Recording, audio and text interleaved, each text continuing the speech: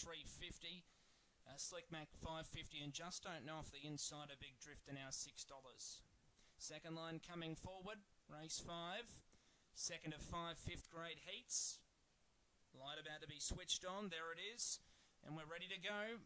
Favourite drawn in the middle, box five, Far More Summers, set, ready, racing. Far More Summers uh, begin only moderately. Good speed from Just Don't Know off the inside. He'll rail up and lead. Uh, getting a great run through Far More Summers. Now up to second. Third then was Slick Mac. Followed further back by uh, What a Circus. Fancy Eye starts to run on. Then came uh, our Cambler Boy with also Magpie Robbie towards last with Insider. So taking over now Far More Summers. Led by a couple of lengths up to second. Fancy Eyes. Wider out Slick Mac. But Far More Summers in front. Money was right. Far More Summers. Second Fancy Eyes. Wider out Slick Mac, but Far More Summers in front. Money was right. Far More Summers uh, defeated. Uh, winner uh, came away to score impressively. Far More Summers, so looks a, uh, a decent margin, three and a quarter lengths with.